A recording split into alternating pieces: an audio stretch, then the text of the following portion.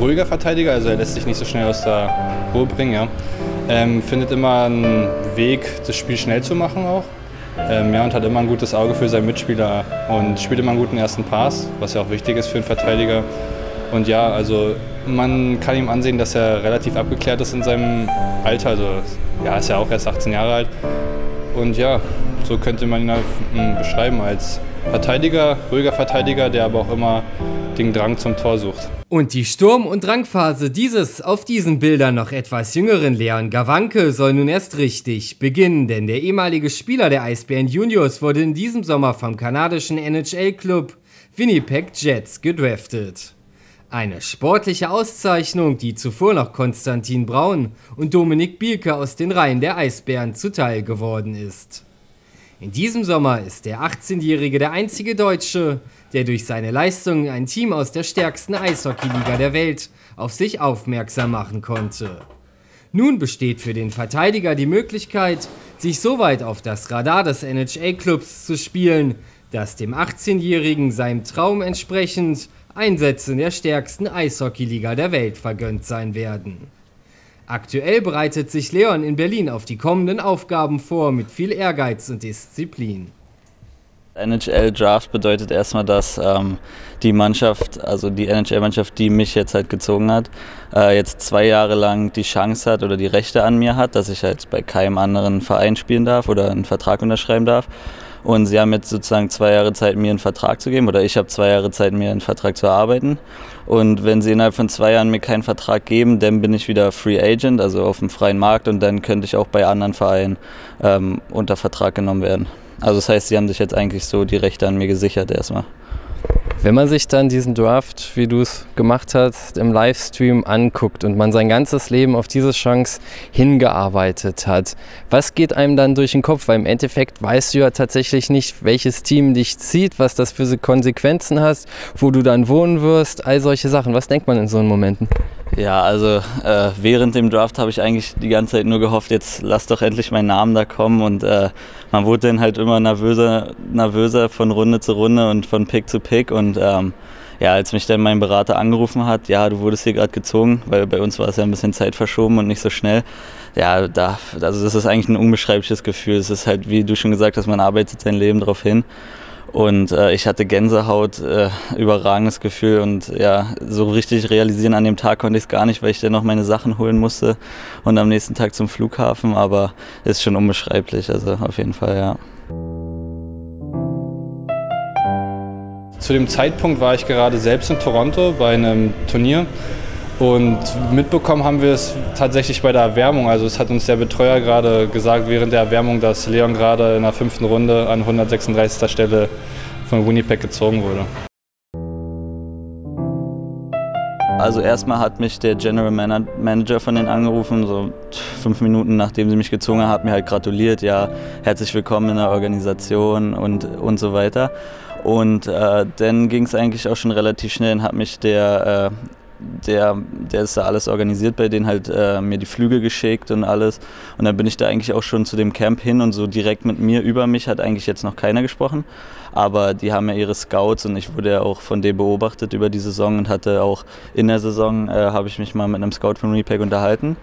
Und also die wissen schon eigentlich alles über dich. Ähm, jetzt generell so Aufgaben haben sie mir jetzt noch nicht aufgetragen. Natürlich ist die Aufgabe der Spieler immer, sich zu entwickeln.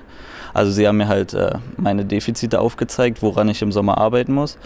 Und äh, das versuche ich jetzt natürlich umzusetzen und mich da so weit gut zu entwickeln. Also richtige Aufgaben hat man da jetzt noch nicht bekommen.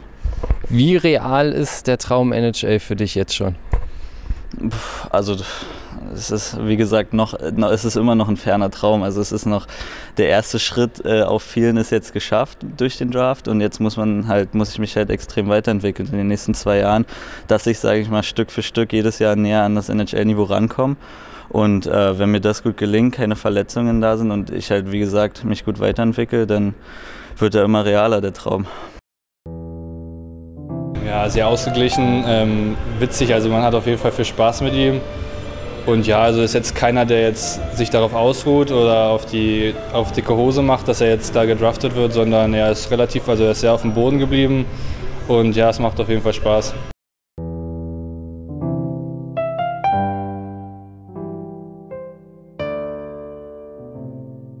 Ich wurde immer gut behandelt bei den Eisbären. Also ich spiele ja hier seit klein auf. Ähm wurde immer gut gefördert, äh, durfte DNL hochspielen äh, bei Herrn Zische und wurde halt wie gesagt gut gefordert und äh, ja, also das hat auf jeden Fall viel dazu beigetragen, dass ich mich jetzt so entwickeln konnte und jetzt die Chance habe, irgendwann dann mal NHL zu spielen.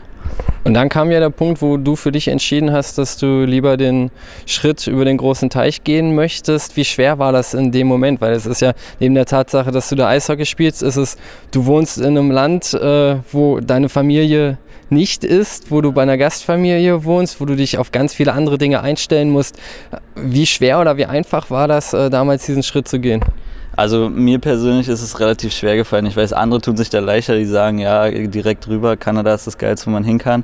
Äh, ist es für mich auch jetzt im Nachhinein, aber am Anfang hatte ich halt noch so meine Bedenken, das erste Mal weg von der Familie, denn kann man nicht einfach mal wieder zurückfahren, wenn man, sag ich mal, Heimweh oder irgendwas hat. Äh, ja, aber am Ende hat sich dann halt eindeutig durchgesetzt. Erstmal haben sie mich eingeladen, dann bin mit meiner Mutter darüber geflogen, habe mir das alles angeguckt, wusste so schon ungefähr, wo ich hinkomme. Das hat eigentlich auch viel geholfen und äh, ja, dann hat sich einfach durchgesetzt, dass es äh, für meinen Traum äh, die best, der beste Weg ist und die beste Liga, der, die beste Jugendliga der Welt kann man sich natürlich gut anbieten und ich denke, das hat sich dann am Ende auch durchgesetzt und es war auch eine gute Entscheidung. Wann war der Punkt, wo du gemerkt hast, dass du in dieser besten Jugendliga der Welt mithalten kannst und dass du sogar sehr gut mithalten kannst? Ja, also ehrlich gesagt, äh, am Anfang äh, habe ich da auch noch so ein bisschen meine Zweifel gehabt, so, uh, man kommt hier als Deutscher äh, in die Liga, wo die besten kanadischen Jugendspieler spielen. Äh, ja, so die ersten drei, vier Spiele hatte man noch so seine Probleme, aber ich bin halt immer besser reingekommen und irgendwann ja, passt man sich dann auch einfach dem, äh, dem Leistungsstand, sage ich jetzt mal, an und das fällt einem natürlich einfacher. Und ja, am Ende ist es dann echt gut gelaufen. Also auf jeden Fall einen guten Schuss, äh, gute Übersicht, kann einen guten ersten Pass spielen und äh, ja, körperlich äh, ist er auch ganz gut. Ich wünsche halt jedem Glück, äh, der rübergeht nach Nordamerika. Ähm, ja, dass er sein Glück da versucht, äh, ja, hat er auch äh, super umgesetzt, gut geschafft drüben und ja, auf jeden Fall Glückwunsch, dass er gedraftet worden ist.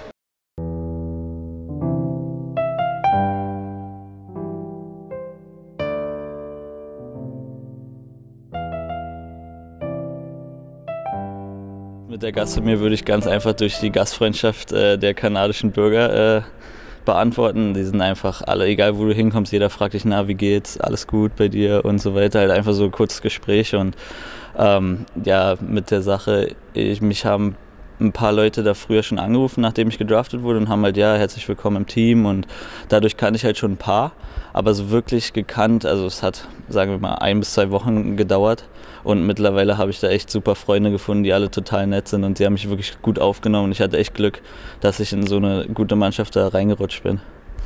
Als nächstes steht Nationalmannschaft an. Skizzier doch mal jetzt die nächsten Wochen für dich. Ähm, ja, genau. Ich fliege jetzt am, oder was heißt ich fliege? Ich fahre jetzt am äh, Dienstag runter nach Füssen.